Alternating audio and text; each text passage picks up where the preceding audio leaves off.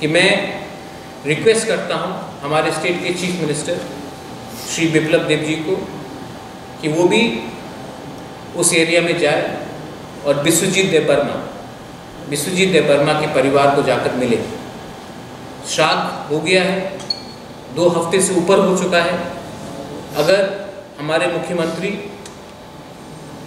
जाकर विश्वजीत देव वर्मा के घर में जाकर उनके परिवार से मिलते हैं तो एक अच्छा मैसेज जाएगा।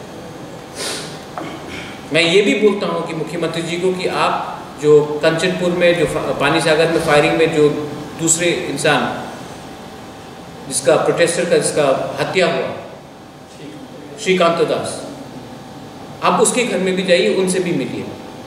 लेकिन जो fire service serviceman Biswajit Deb Barma था, जो on the line of duty उसको बेहद, उसको मर्डर किया गया, आप उसके घर में भी जाइए। ये मेरा रिक्वेस्ट है उनसे। और मैं आशा करता हूँ कि वो चाहेंगे।